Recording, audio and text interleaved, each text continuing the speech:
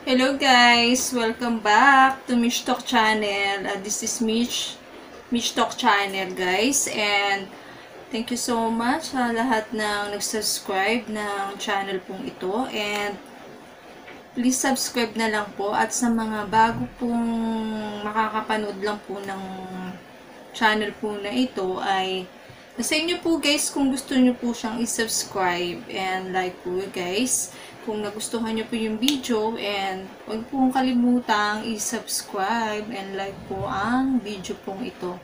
So guys, stay tuned! Hello guys! Welcome back to Mish Talk Channel. Um, okay guys, our content for today ay tungkol guys sa Japan Visa update po tayo guys.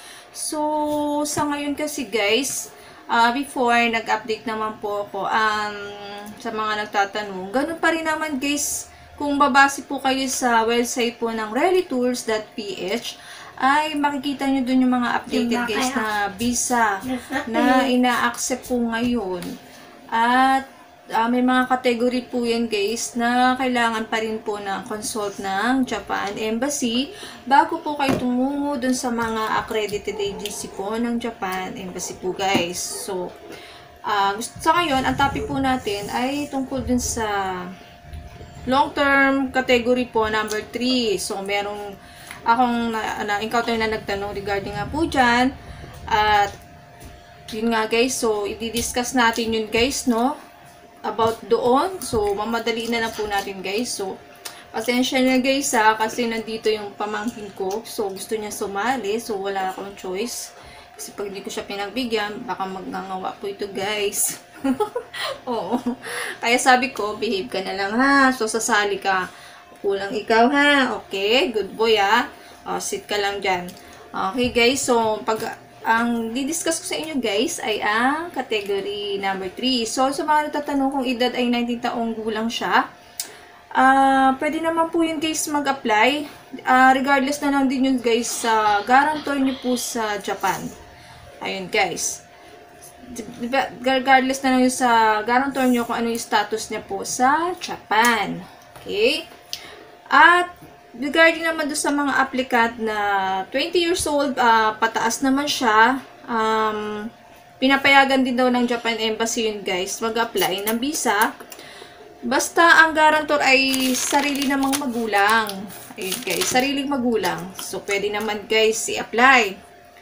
So, at meron naman guys na hindi pwedeng mag-apply ng category number 3 na edad ay 20 pataas kung yung ang guarantor nyo naman guys ay kapatid, tiyuhin, kamag-anak, uh, na may permanent status din sa Japan. So, hindi siya pwede. So, uh, actually, pag nag-apply kasi kayo ng visa guys, so, meron kasi yung ano, um, pag, uh, pag nag-apply kayo sa accredited agency, so, i-check pa naman po talaga yun ng Japanese, i-evaluate nila, so, bago po yan maka pasok sa embahada ng Japan. So, much better guys, uh, consult muna po kayo sa Japan Embassy bago nyo apply ang inyong category. So, ingay naman yung ching. Ang ingay naman yung ching. Sabi ko, behave ka. Ano ba yan? Na ingay. Go na ako. Huwag ka na ingay, ha? Okay? Ayun, guys. So, Ah, uh, sa ngayon, uh, pwede rin naman tanggapin ng Japan Embassy ang mga sumusunod na na kategory ng visa nga guys, basta kinakailangan talaga ng consult. Yun nga po sinabi ko kasi kailangan po ng consult ng Japan Embassy. Uh, bago nyong i-apply sa accredited agency. Yan, tulad ng mga visa for spouse and child of Japanese. Ayun nga, living in the Philippine category, temporary visit, private staff, employee, person holding a diplomat and official visa for medical stay. So, yun guys, kailangan na makonsult. So, makikita nyo rin naman guys sa website ng Rally Tours uh, category, yung ano nila, website nila guys. So, makikita nyo rin naman po doon yung mga alis ng category ng visa na type ng visa na uh, pwede nyo nyo i-apply pero na need pa ng consultation from Japan Embassy guys. Bago nyo ipasok sa accredited agency guys bago nyo siya i-apply So, yun guys. So, I hope na meron kayong nalaman regarding po dito sa update po ng Japan Visa. So, ganun pa rin naman sa ngayon. Um, meron din namang natang, dinagdagan na tinatanggap kasi before um, parang hindi pa nga ina-accept to. Pero ngayon ina-accept naman siya pero consultation pa rin sa Japan Embassy guys. So, I hope na meron kayong nalaman. Uh, share ko lang po ito. Uh, battery naman to sa research ko sa Japan Embassy guys. So, yun lang guys. So, uh, thank you so much. And, ayun nga. Uh, may dadagdag lang din ako guys. So, yung mga listahan din na tinatanggap ng embassy tulad ng Japan Embassy tulad ng petition ng permanent resident, so mga petition ng long-term resident, re-entry extension. So yung special re-entry extension, uh, pwede namang i-apply siya. Uh, pero kailangan pa rin ng consultation po yan ng Japan Embassy. Uh, kung case to case po kasi kung hindi po kayo makakuha agad na COE sa Japan at permanent resident kayo or long-term resident, Uh, dahil case to case nga po, so pwede naman din i-apply special re-entry basta consultation sa Japan Embassy.